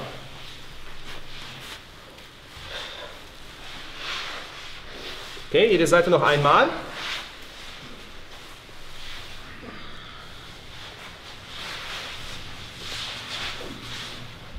Das sowas irgendwie offener? In der Hüfte spürst du es am meisten, oder? Okay, bleib mal wieder hier sitzen. Hier sehen wir ganz klar, was Mobilität wirklich bedeutet. Und äh, man kommt definitiv an seine Grenzen. Also ich glaube, jeder von uns hier äh, spürt, was es bedeutet, wirklich mobil zu sein. Und ich merke auch schon jetzt, wie sich etwas verändert, wie ich äh, beweglicher werde, definitiv. Äh, ich finde das sehr schwierig, äh, sich da alleine so zu, zu motivieren, so eine Mobility-Geschichten durchzuführen. Ähm, und wenn ich nicht wüsste, was es für einen Mehrwert für mich hätte oder hab, hat, dann äh, würde ich es wahrscheinlich auch nicht machen. Und ich glaube, das ist so eine Übung, das ist was, was du, wenn du es machst, da wirst du im Studio erstmal komisch angeguckt. Weißt du, das ist ja für ein Quatsch da. Ähm, aber gerade wenn man viele Muskeln hat und Muskeln hochtrainiert hat, ähm, muss man da nochmal extra drauf aufpassen. Und vor allen Dingen auch als Athlet, ne, als Mhm. Richtiger. Das Gute ist aber, du musst es ja nicht täglich 20, 30 Minuten machen. Das Okay. sind Übungen, die baust du einfach in dein Warm-up ein. Hast fünf bis zehn Minuten, machst du deine, deine Drills, deine Exercises und das war's dann auch. Dann kannst du dich dann äh, mit in deinem Hauptfokus wieder auf das Training konzentrieren. Ja. Also das ist ganz wichtig. Es sind immer nur ein paar Minuten und ich muss nicht alles nonstop durchmachen. Hast du denn deine drei Top-Aufwärmübungen? Was Ja. wären denn? Was sind denn? Die machen wir gleich. Machen wir, okay. Machen wir gleich. Das ist schon mal ein wichtiger Teil davon. Ja, also da musst du leider durch. Okay? So, wir erweitern noch ein bisschen. Das ist immer so ein kleiner Aufbau. Ja, Es wird ein bisschen schwieriger, ein bisschen wird es leichter. Wir nehmen jetzt das hintere Bein nach vorne. Ja, so eine Art wie so ein ganz gechillter Strandsitz. Okay? Hier sind die Beine ungefähr 90. Sprunggelenke bei dir, oder? Alles es wird, insgesamt wird er insgesamt einfach geschmeidiger, weißt du? Ja, es wird, es wird geschmeidiger. Es wird im Nach und nach ein bisschen geschmeidiger. Okay, aus der Position. Die Arme ein bisschen nach vorne legen und jetzt mit, der, mit dem Gesäß auf die hintere Ferse versuchen wir nach vorne zu schieben. Okay? Da wird's schwierig. So, die meisten haben jetzt damit Probleme. Okay? Okay, mach bitte folgendes. Ihr seid nicht die Einzigen, die damit Probleme haben. Wir machen folgendes. Ihr geht mal zu zweit zusammen und macht das gemeinsam. Okay? Das sieht dann so aus. Geh mal bitte in die Position. Also, setzen. Beine sind ein bisschen geöffnet. Okay? Und einer hilft dem anderen. Das heißt, du greifst, du hältst dich an mir fest. Das ist wichtig. Ich halte nicht ihn fest. Okay? Gehst rauf und alleine wieder runter. Aus der Position, ich spiegel dich mal ein bisschen, wechselst du die Beine. Einfach so umklappen. Okay? Wieder an mir festhalten und wieder hochziehen. Zieh, zieh, zieh, zieh. Okay? Wieso ziehe ich ihn nicht hoch? Er zieht sich selber hoch, weil er entscheidet selber, wie viel Hilfe er braucht. Wenn ich ihn hochziehe, entscheide ich für ihn. Er muss aber selber gucken, okay, ich muss ein bisschen kräftiger ziehen oder ich muss ein bisschen weniger ziehen. Okay? Das heißt, zu zweit er greift, ich lehne mich nur ein bisschen nach hinten und er zieht selber. Dann alleine runter, exzentrisch, wieder runter, runter, runter. Auch wenn du plumpst, Beine wechseln. Okay? Festhalten, aufstellen, aufstellen, aufstellen und hochziehen. Und zieh, zieh, zieh, zieh. Wunderbar, okay? Versuch's mal zu zweit. Eine Minute, dann sind wir durch. Okay? Die Seite ist viel härter. Ja, das ist ein Hüftbeuger. Und zieh, komm schon, komm schon, komm schon. Jawohl. Ja, sehr schön. Nochmal. Okay, der Fuß bleibt auf dem Boden, ne? Sollte. Sollte. Jawohl. Aktivier dein Gesäß. Da, da merkst du, dein Hüftbeuger ist zu fest. Im Verhältnis zu deinem Gluteus Maximus ist dein Hüftbeuger zu fest. Deswegen, du kannst nicht genug Kraft im Gesäß entwickeln. Jetzt aus dem Hintern, kräftig anspannen, anspannen, anspannen, anspannen, anspannen. Jawohl. Dadurch nimmst du dir auch viel Leistungsfähigkeit. Allein durch diese Disbalance nimmst du dir sehr, sehr viel Power raus. Okay? Noch einmal und dann, dann ist gut für dich. Komm schon. Jawohl. Und wieder lösen. Okay, sehr schön. Was würdest du da empfehlen? Also ich hatte gerade Dreikämpfer, hebe viel Sumo. Da wird Ja. die Hüfte ja noch stärker. Mach die Übungen. Du musst die Übungen machen. Du musst immer wieder Innen-, Außen-Rotation. Deswegen machen wir jetzt diese Drills. Wenn du die, Genau, die zwei, drei Übungen Okay. einbaust, das reicht völlig. Das reicht aus. Okay, habt ihr gemacht? Bei, ja, beide Seiten. Einfach wechseln. Mach noch eben schnell durch und dann bauen wir weiter auf. Zieht euch offener. immer so kräftig hoch, wie ihr braucht. Wenn ihr das Gefühl habt, ich muss ein bisschen kräftiger ziehen, dann zieht ihr ein bisschen kräftiger. Ich komme auch mit dem Puzzle jetzt besser. Besser jetzt? Okay. Also die Knie sind viel mehr. Viel mehr außen. Ja. Da, da haben wir schon nach zwei, drei Minuten Drills, wird es schon etwas besser. Okay? Ich habe auch weniger Zug in die Hüftbeuger jetzt. Ja, es optimiert sich sehr, sehr schnell. Das ist das, was ich meine, dass du innerhalb von ein paar Minuten schon Verbesserung spürst. Okay. Okay? Okay, wir, wir machen weiter. Aus der Position. Jetzt müsst ihr wieder ein bisschen alleine arbeiten. Ihr könnt quasi auch, wenn ihr alleine seid, entweder ihr haltet euch irgendwo fest, ihr nehmt euch ein Band, was immer fixiert, ihr könnt auch quasi euch von unten so ein bisschen nach oben arbeiten. Versucht jetzt von hier hinten gleichzeitig nach oben zu kommen, wieder in den Kniestand, ähnlich wie wir es gerade gemacht haben. Okay? Jungs, seid ihr dabei? Aus der Position aufrichten. Gesäß wieder fest? Nein. Vorhin sind wir aus der Position hochgekommen und jetzt haben wir mehr so einen Ritterstand. Jetzt sind wir höher. Runter, öffnen, schließen und wieder hoch. Kannst du das Öffnen und Schließen nochmal zeigen? Ja, auf, Okay. Beine spreizen, wieder ranziehen Okay. Ah, und hoch. Yeah. Genau. Und wieder setzen. Auch hierbei, du kannst, wenn du ein Problem hast, raufzukommen, ein bisschen stampfen. Du stampfst ein bisschen auf, versuchst dadurch ein bisschen Schwung zu holen, dadurch kommst du viel, viel leichter nach oben. Und wieder hinsetzen. Okay? So, jede Seite noch einmal. So, Also beim, bei euren Kniebeugen schnauft ihr bestimmt weniger, oder? Kann ich mir sehr gut vorstellen. Okay. Wieder lösen. Sehr schön. Okay, kurz mit die Beine ausstrecken, bisschen auslockern. Wir kombinieren jetzt ein bisschen, okay? Ich zeige euch jetzt eine Kombination von verschiedenen Drills. Baut auf auf dem, was wir gerade gemacht haben. Okay? Dabei dreht ihr euch so leicht um 180 Grad. Okay? Ich zeige euch das erstmal. Also sieht folgendermaßen aus, die Bewegung. Knie ab, haben wir gemacht. Das andere Knie hoch, aufrichten. Hinsetzen. Beine wechseln. Hinterer Fuß vor. Vorne schieben, drehen. Andere Seite. Knie ab. Knie ab. Hinsetzen. Beine wechseln. Fuß vor. Und wir sind wieder da, wo wir angefangen haben. Okay? Easy going. Okay? Nochmal zur Erklärung. Ich zeige euch das nochmal. Ganz kurz. Ja. Kannst du jedes Mal, jedes Mal nummerieren 1, 2, 3, 4, 5, sodass wir uns an die Runde erinnern können, Natürlich. was wir da zu machen haben? Machen wir sehr gerne. Okay? Habt ihr alles gerade schon gemacht? Das ist nur Aufbau, eine Kombination. Okay? Das ganze Paket. Also aus der Position. Knie ab ist 1. Knie ab, hoch ist 2. Setzen ist 3. Beine wechseln 4. Fuß vor 5. Jetzt haben wir hier eine offene Seite. Hochrutschen, drehen. 6. Das war's. Das, was wir jetzt machen, ist, wir fangen mit dem anderen Knie an. Okay? Das heißt, wir waren gerade mit dem rechten Knie unten, genau, jetzt gehen wir links runter. Das heißt, links geht runter, rechts ab, vorne hoch. Hinten setzen. Beine wechseln. Hinteres Bein geht vor. Gesäß zur Ferse. Hinten aufstellen und hochrutschen. Man kann das zu zweit machen, man kann das als Partnerübung machen, du musst nicht verzweifeln. Man kann das an der Stange machen. Wenn du in der Lage bist, die Vorübungen zu machen, dann hast du das jetzt wirklich komplett drin. Die Vorübung heißt, Knie nach innen zu bringen und das, was wir gerade gemacht haben. Das sind alles Sachen, die wir auch aus dem Deep Squat haben. Das heißt, wenn ich im Deep Squat bin, meine Knie nach vorne bringe, dann schaffe ich auch diese Übungen, weil dann habe ich die Hüfte ist auf, Sprunggelenk, Dorsalflexion und dann ist es egal, dann kann ich auch hier in die Pistolposition reingehen, dann ist es überhaupt gar kein Unterschied, weil das ist genau die gleiche Position. Okay? So, die Hüfte brennt schon ein bisschen bei euch, oder? Okay, gut, setzt euch nochmal hin, kurz mal chillen, bisschen auslockern der Beine. Okay? Sprunggelenk. So hinsetzen, kriegt ihr alle hin? Du siehst auf die Ferse? Ja, ich sitze, genau, sitze auf dem Unterschenkel. Genau, das reicht schon. Nimm die Hände einfach bis nach vorne, das reicht. Auf das Knie wollen wir uns fokussieren. Wir wollen hier in die Dorsalflexion gehen. Das heißt, wir wollen das Knie nach vorne schieben. Also greifen wir das Knie, schieben und lassen es ein bisschen kreisen. Dürfen wir mit dem Fuß hinten hochkommen? Oder? Nein. Okay. Der, die Ferse bleibt unten. Das ist wichtig. Ich komme mir auch überhaupt nicht vor. Also,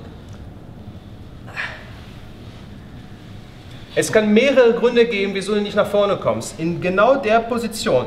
Entweder es liegt daran, dass dein Tibialis anterior nicht gut genug arbeitet, der Schienbeinmuskel, oder es kann sein, dass der Soleus, dein Wadenmuskel, zu, äh, zu sehr zieht. Also entweder ist quasi ein Muskel in der Unterfunktion, das ist der Tibialis, der diese Dor- Dorsalflexion macht, oder der Wadenmuskel, der Soleus, arbeitet nicht richtig. Okay?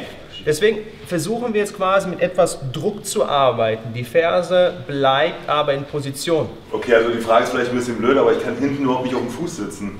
Tut es im Sprunggelenk weh oder Ja. im Knie? Im Sprunggelenk. Ja, dann liegt es einfach daran, dass die Flexibilität in der Plantarflexion, Okay. diese hier ebenfalls nicht gegeben ist. Okay. Ne? Dass du hier dann Probleme hast. Ja. Ja. Wir können aber gerne das direkt aufgreifen, machen ein paar Übungen im Stand, dann ist so die Hüfte ein bisschen entspannter. Ja? Okay, kommt mal alle rauf. Also ich gebe zu, für den einen oder anderen sind diese Innenrotationen, Außenrotationselemente schon relativ happig. Wir gehen jetzt einfach mal einen Schritt zurück, konzentrieren uns ein bisschen auf die Füße. Okay? Also, ste- stellt euch schulterbreit hin. Wir gehen jetzt in den sogenannten Lateral Tilt. Das heißt, wir konzentrieren uns darauf, dass der Knöchel nach außen geht. Jawohl, genau in diese Richtung. Zurück und die andere Seite ebenfalls. Der andere Knöchel geht raus. Genau. Wechselt einfach mal von einer Seite zur anderen. Viele Leute haben das Problem, dass sie nach innen kollabieren und deswegen, genau, deswegen schieben wir die Sprunggelenke nach außen, um dieses Bewegungsmuster zu verbessern. Also wenn du nach innen kippst, mach diese Bewegung. Okay? Also ich kann jetzt nur von meinen Kunden sprechen. Ähm, die meisten benutzen ja ihre, ihre Hüfte quasi nur als Scharniergelenk. Das heißt also Innen- und Außenrotation findet eigentlich im Alltag kaum statt. Ja? Und die haben mit so Sachen halt riesige Probleme. Ähm, also ich denke persönlich, dass äh, dieser Mobility Workshop also für Menschen des Alltages ähm, fast perfekt ist, ja? weil die mit so Sachen riesige Probleme haben und deswegen Rückenschmerzen und Knieschmerzen haben. Ja, es eignet sich eigentlich wirklich für jeden. Du musst einfach nur gucken, welches Level du hast oder welche Einschränkungen. Ja? Und diese Sachen bei den Füßen, das sind eigentlich schon die Basics. Ja? Ganz wichtig ist, ihr müsst nicht denken, wenn ihr diese Bewegung macht, dass das Sprunggelenk nach außen geht, dann braucht ihr nicht zu denken, irgendwie, dass dadurch die Bänder ausleiern. Weil wir machen kein Stretching. Das heißt, ich gehe mit dem ganzen Oberkörper, mit meinem Gewicht gehe ich auf den Fuß. Das heißt, wenn ich beide Füße nach außen setze, das heißt, ich bin jetzt äh, auf den Außenkanten, ja, Das könnte ich auch im Volleyball machen. Ja, aber jetzt Moment, ich mache jetzt mal einen Sprung. Schaut mal. Es geht nicht, ich habe gesagt, es geht nicht nur um Mobilität, Beweglichkeit, es geht auch um Kraft.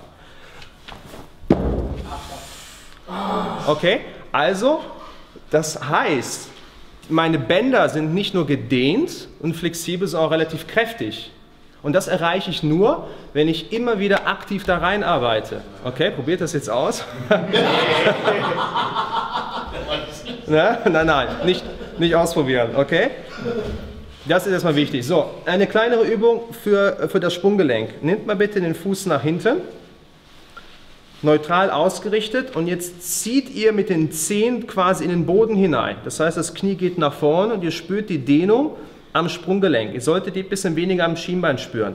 Das heißt, ihr zieht quasi eure Zehen in die Länge. Ja, als ob ihr so ein bisschen mit den Fingern knacken würdet. Okay, spürt ihr das? Dann ihr den Fuß weiter nach vorne. Noch weiter. Besser?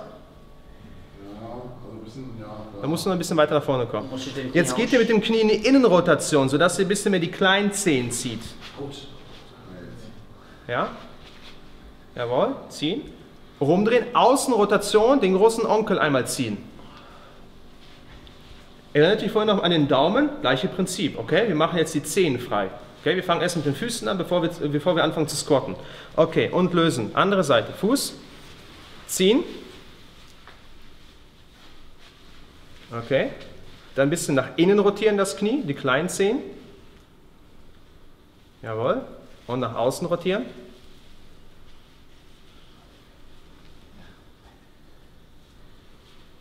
Jawohl. Wunderbar. Okay, alle nochmal in die Hocke. Sprunggelenk. Wir wechseln jetzt quasi von Dorsal zur Plantarflexion. Aus der Position, die Knie nach vorne ab. Hinfallen kann jeder, ne? Füße flach absetzen. Füße aufstellen. Knie anheben. Also da bleiben? Auf den Füßen. Okay. Okay? Was haben wir hier? Spannung in der Fußsohle und in der Schienbeinmuskulatur. Okay? Absetzen. Deep Squat. Ihr könnt dann die Beine weiter öffnen. Wenn ihr weiter entspannter seid, dann macht die Beine auf. Okay? Anheben, Knie ab, Füße flach, hinsetzen. Füße aufstellen, Knie anheben, absetzen. Im Endeffekt switchen wir von einer Position zur anderen und haben die komplette Beweglichkeit im Sprunggelenk, die wir benötigen, um den Deep Squat auszuführen.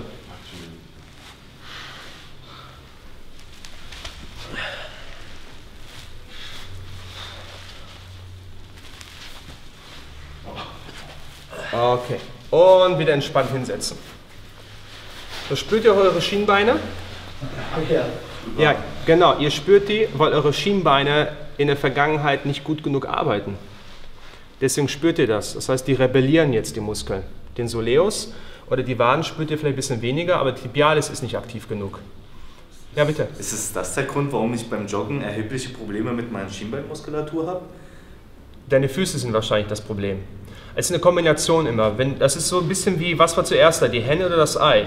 Es kann einfach sein, wenn dein Sprunggelenk oder deine Sprunggelenke nicht beweglich genug sind, dass sich das negativ auf deine Schienbeinmuskulatur auswirkt und dann spürst du eigentlich die Schmerzen.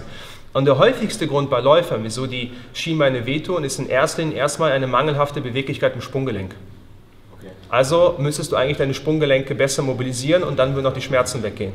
Man kann also nicht sagen, dass es äh, ein Körpergewichtsproblem ist, also pauschal sagen, alles was über 100 Kilo wiegt, äh, sollte nicht joggen oder hat Probleme im vorderen Schienbein, weil ich kenne es auch vom Joggen, dass meine vorderen Schienbeine extrem schnell zu sind einfach und auch enorm Muskelkater haben nach dem Laufen. Ja, natürlich. Also du hast natürlich eine erhöhte Belastung, aber das hat nicht irgendwas mit dem Körpergewicht zu tun. Du musst natürlich in der Lage sein, dein Körpergewicht zu kontrollieren. Aber das ist genauso, wenn ich jetzt squatte mit dem Zweifach oder Dreifach meines Körpergewichtes. Ist genau das Gleiche. Das heißt, ich muss schauen, dass ich erstmal mich an die Belastung anpasse. Aber grundsätzlich kann man das nicht sagen, wenn ich ein schwerer Athlet bin, sollte ich nicht joggen gehen. Okay. Ja, definitiv. Also wir haben einmal, dass ein gewisser Muskel nicht richtig funktioniert, beziehungsweise unteraktiv ist und andere Muskeln können überaktiv sein. Äh, magst du mal ganz kurz nochmal den äh, Deep Squat einmal vorzeigen? So, spürst du es noch eine Innenschenkel oder einen Weniger, Hüftbeuger? Viel weniger. Okay. Tiefer sitzen und lockerer. Also ich muss jetzt den Arsch nicht mehr anspannen. Okay, du spürst aber den Hüftbeuger ein bisschen. Ja, links. Okay, den merkst du noch ein bisschen. Ja. Okay. Äh, leg dich einfach ein bisschen mit den Füßen mal zu mir hin. Okay, einfach mal auf den Rücken legen. Ganz kurz. Wenn, wenn ihr eine Kompression spürt, also viele Leute, die hier die Kompression spüren im Hüftbeuger, die neigen auch dazu, sich bei den Squats immer so ein bisschen nach vorne äh, zu lehnen. Ja? Das heißt, es sieht dann bei den Leuten dann im Endeffekt so aus, dass die dann von hier aus ungefähr so squatten. Ja, habt ihr schon mal gesehen. Und die sind in so einer Position wie so ein Skifahrer und die kommen nicht tiefer, aber der Oberkörper liegt hier. Im Endeffekt müsste ich in der Lage sein, den Oberkörper aufzurichten. Das hat was damit zu tun, dass der Hüftbeuger mich nach vorne zieht. Und bei dir ist es auch der Fall, obwohl du schon gut squatten kannst, dein Hüftbeuger ist überaktiv und dein Gesäß arbeitet nicht gut genug. Deswegen lehne ich mich nach vorne. Das heißt, der Hüftbeuger zieht zu stark. Also müsste man quasi deinen Hüftbeuger runterschalten und dein Gesäß aktivieren. Okay, bei dir haben wir ja das, das Problem, dein Hüftbeuger macht zu und den können wir jetzt im Endeffekt frei machen. Das ist eine Sache, das, was ich euch hier zeige, das könnt ihr auch mit irgendwelchen Triggerbällen machen, mit Lacrosse-Bällen und sonstiges. Das ist auch möglich. Nicht jeder hat irgendwie einen fremden Daumen zur Hand oder einen Physio, der einen bearbeiten kann. Okay? Also konzentriert euch auf den Muskel, den ihr frei machen müsst. Und in dem Fall ist es bei dir wahrscheinlich hier der Hüftbeuger unter anderem. Ihr müsst nicht genau erkennen können, welcher Muskel das ist. Ihr müsst nur die schmerzhafte Stelle finden. Das heißt, hier gehe ich ran, versuche ein bisschen zu arbeiten, arbeite mich ein bisschen dran und bin jetzt genau, quasi genau zwischen den Muskeln. Okay, ich weiß, sieht ein bisschen komisch aus, ist aber so. Ja, für ihn ist es aber unangenehm. Also es ist kein Vergnügen für ihn, das weiß ich. Ich gehe also quasi zwischen die Muskelbäuche, arbeite mich noch ein bisschen runter. Hier oben so der Hüftbeuger, der zieht natürlich bis zur unteren Rippe, der interessiert mich nicht. Aber ich weiß, da hat er sein Problem. Der Muskel ist überaktiv, der springt mir quasi entgegen. Auch das wieder, ich muss nicht jeden Tag 10 Minuten rollen, mich mit irgendwelchen Blackrolls oder sonstigen Fasziengeschichten irgendwie langweilen. Zwei, drei Minuten auf den Punkt gebracht und fertig ist die Sache. Du hattest noch immer auch im Innenschenkel, links oder rechts oder beide Seiten? Links. Links auch. Okay.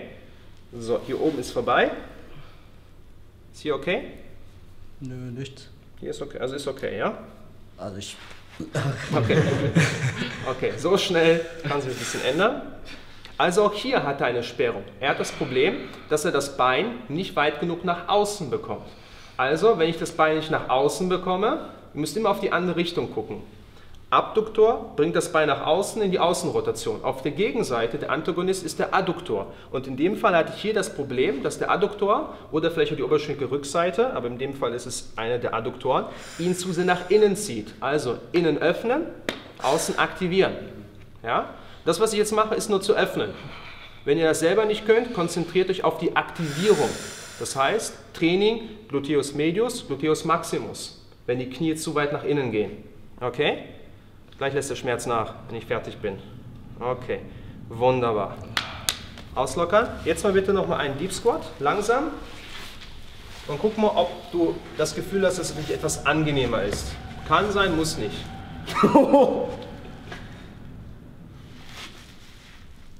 Aber jetzt merke ich rechts, dass die rechte. Seite. Ja, ja, ja, links ist so frei. Ja. Ja, ja. Links ist gut, rechts ist bescheiden. Ja? Okay, das heißt, es geht darum, beide Seiten natürlich zu aktivieren. Jetzt ist die Frage, wie kann ich jetzt mein Gluteus Maximus aktivieren, ohne die ischokorale Muskulatur übermäßig anzusprechen? Weil es kann sein, dass du ähm, ein Problem hast zwischen der Aktivierung Gluteus Maximus oder Oberschenkel Rückseite. Da zeige ich euch nur einen ganz kurzen Trick, wie ihr das feststellen könnt. Leg dich mal bitte hier mit dem Kopf auf den Bauch mal bitte. Wunderbar. Du machst bitte folgendes: Das linke Knie ist gestreckt. Heb mal bitte das gestreckte Bein einfach mal an. Genau, anheben und wieder absenken. Okay? So, das Bein geht, aus welchem Gelenk hebt sich das an? Aus der Hüfte. Das heißt, okay, wieder absenken. Das heißt, wenn das Bein aus der Hüfte hochkommt, welcher Muskel sollte in erster Linie arbeiten? Oberschenkel, Rückseite oder Gesäß? Bleibt ruhig unten. So arbeitet mir das Gesäß. Sollte eigentlich das Gesäß sein. Das heißt, das Gesäß aktiviert zuerst. Der Muskel, der dem Gelenk am nächsten ist, sollte zuerst aktiviert werden. Das können wir testen. Und zwar ich mache folgendes. Lass, bleib erstmal ganz entspannt. Ich lege eine Faust auf sein Gesäß, andere Faust auf seine Oberschenkelrückseite. Und jetzt bitte das Bein nochmal anheben. Und wieder lösen, entspannen. Entspannen, entspannen. Jawohl. Nochmal anheben und entspannen. Bei ihm ist das Problem, dass zuerst die Oberschenkelrückseite aktiviert wird und nicht sein Gesäß. Das heißt, wenn die Oberschenkelrückseite zuerst aktiviert wird, wird zuerst der Oberschenkelkopf nach vorne in die Pfanne gedrückt. Das heißt, seine Gesäßmuskulatur hat zu wenig Power. Er müsste die isoliert trainieren. Das gleiche kann man auch auf der anderen Seite machen.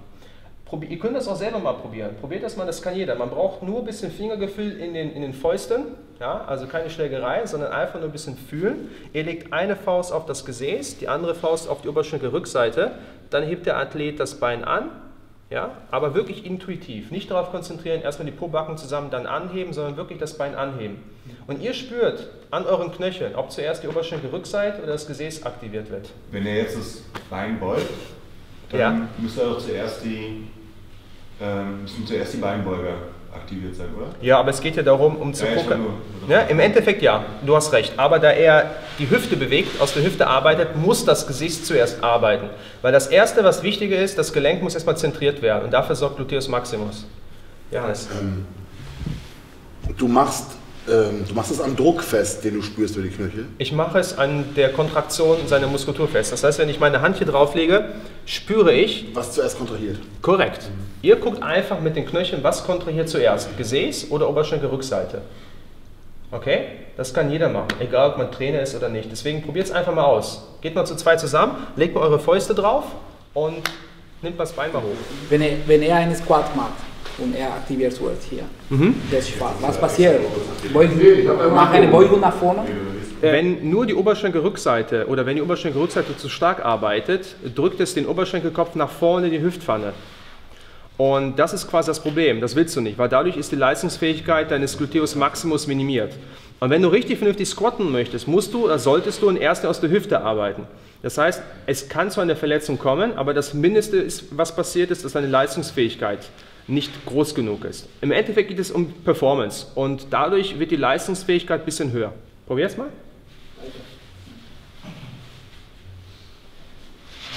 Ihr könnt auch wechseln, völlig egal. Einfach mal austesten. Ihr habt schon zu zweit? Ja? Geht mal zu zweit mal rüber. Ich guck mal bei euch.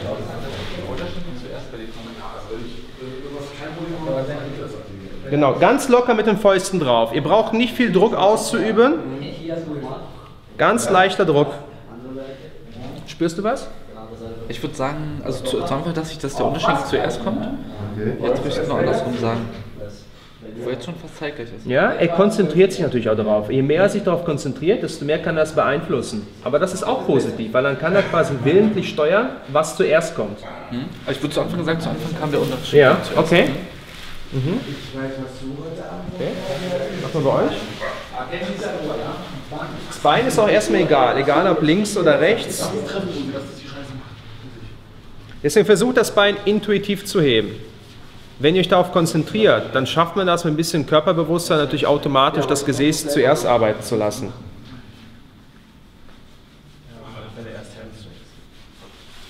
Das ist bei sehr vielen Leuten so. Bei, bei dir auch? Oberschenkelrückseite zuerst. Ich merke es auch selber. Dass ich, Ja? Merkst du selber? Okay. Also ich kann mich selber einschätzen, dass ich sage, das wäre zuerst. Ja. Das ist jetzt eher ähm, schlecht. Ist nicht so gut. Also es heißt auf jeden Fall, dass quasi, wenn du es schaffst, deine Gesäßmuskulatur besser zu aktivieren, dass du dann höhere Power bei den Kniebeugen hast. Okay, aber das dadurch mehr. Weißt du, das, das ist der hauptsächliche Grund im Endeffekt. Und das, äh, Mobilität hat immer was mit muskulärer Ansteuerung zu tun. Wenn ich mich nicht bewegen kann oder die Muskeln nicht vernünftig geschaltet sind, dann kann es halt ebenfalls sein, dass ich immer eine Einbuße in der Performance habe. Und das, was ich möchte, ist, dass meine Muskeln so funktionieren, wie sie funktionieren sollten. Und das heißt, Gesäß zuerst und dann die Oberschenkelrückseite. Okay? Habt ihr alle, alle gemacht? Alle durch? Ähm, Okay, wieso Gesäß und Oberschenkelrückseite in der Kombination? Ja, ihr habt euch ja gefragt, okay, inwieweit ist das relevant? Ihr müsst euch einfach überlegen, der Back Squat. Kommt die Bewegung hauptsächlich aus der Hüfte oder aus den Knien? In erster Linie aus der Hüfte. Man sagt, dass zum Beispiel Kreuzheben ist eine klassische hüftdominante Übung und ein Front Squat ist eher eine kniedominante Übung. Aber im Endeffekt geht es ja darum, dass ich die hauptsächlich die Kraft aus der Hüfte generiere. Also muss er zuerst mein Gluteus Maximus, meine Hüftstrecke muss erstmal arbeiten, bevor die Oberschenkelrückseite kommt. Wenn ich das jetzt quasi auftrainieren möchte, das heißt, ich möchte jetzt quasi bei der tiefen Kniebeuge oder überhaupt bei der Kniebeuge meine Gesäßmuskulatur aktivieren, muss ich im unteren Bereich der Bewegungsamplitude sein. Das heißt, dass die Gesäßmuskulatur eigentlich erst richtig ab 90 Grad arbeitet. Das heißt, in dem unteren Bereich. Also wäre es eine Möglichkeit, wenn du quasi deine Gesäßmuskulatur besser aktivieren möchtest, dass du quasi im unteren Bereich zum Beispiel Teilwiederholungen einbaust oder nur kleine Bounces oder kleine Kniebeugen im unteren Bereich machst, das heißt ab 90 Grad. Also ab 90 Grad Gesäß aktiviert. Bis 70 Grad habe ich ungefähr die Oberschenkelrückseite. Klar, was gemeint ist? Okay, zeig's mal von der Seite. Das heißt, wenn ich eine Kniebeuge mache, bis 70 Grad, das heißt ungefähr bis hier, habe ich die Hauptaktivität in der Oberschenkelrückseite.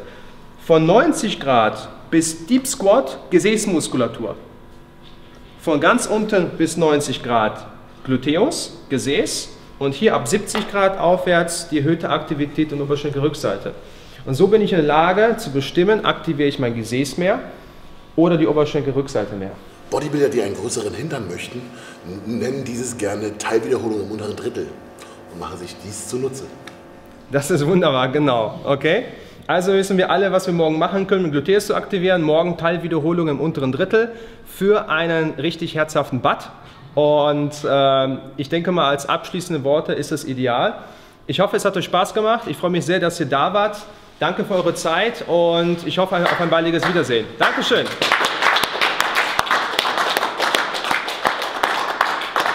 Ja, wunderbar. Danke, schön, dass du da warst. Ja, War richtig cool, ey. danke. cool, klasse. Morgen tiefe Kniebeugen.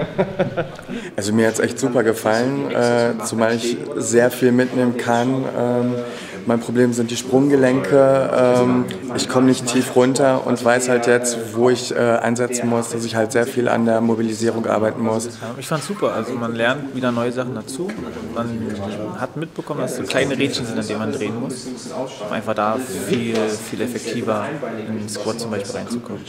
Aber im Endeffekt, das, was wir gemacht haben, waren immer nur ein paar kleine Auszüge. Also das ist ein riesiger Themenbereich und wir haben nur so ein paar Kleinigkeiten rausgeholt, so ein paar spezielle Schwankerl, die alle ähm, einfach umsetzen können, aber der Bereich ist eigentlich so groß, aber das muss man dann wirklich schon im Individuellen machen.